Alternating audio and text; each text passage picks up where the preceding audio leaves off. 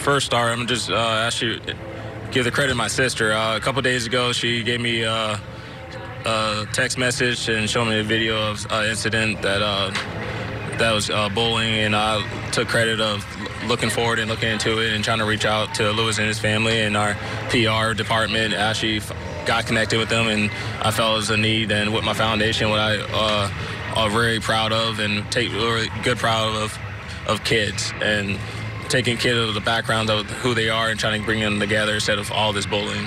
Yeah, because the bullying exists in schools, and I mean, hats off for you. He's from the Tampa area where you're from, and it happens to be that he's an Oriole fan because his dad is an Oriole fan. So it was a good, good combination. Yeah, it was a um, really good combination. So like, as, as, far as looking into the research of what their uh, the social media and his dad and his mom and saw he had a Oriole shirt on, that was even made it more fun for to get him up here. And he was at the Tropicana Field, so it was really a, a great opportunity to bring him up.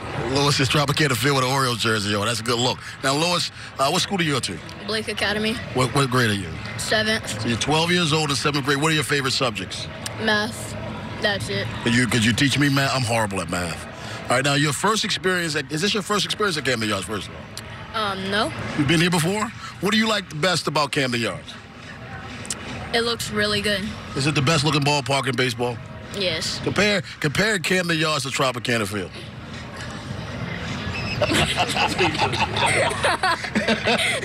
no comparison. What do you think about what Mychal Givens did for you?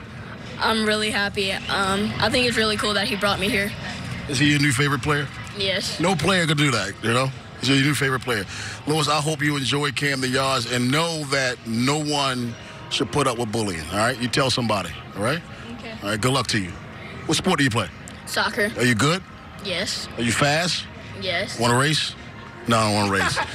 Mychal, thanks a lot, man. Continue to do what you're doing. What's the name of your foundation? The, the Givens Back Foundation. Uh, we do a lot of stuff pretty much in uh, Tampa and did a couple things up here in uh, Baltimore. So just helping giving back to kids and opportunities to community and families and, and it's about is about them and, and using my platform and having fun with it and, and having having everybody come together. Mychal Givens and his new best friend Lewis.